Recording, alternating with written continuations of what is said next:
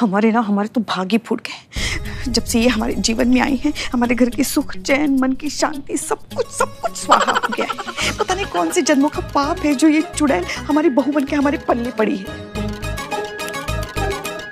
क्या है? तुम दोनों तो चुप ही करो। नहीं डरी मत पुष्पा जी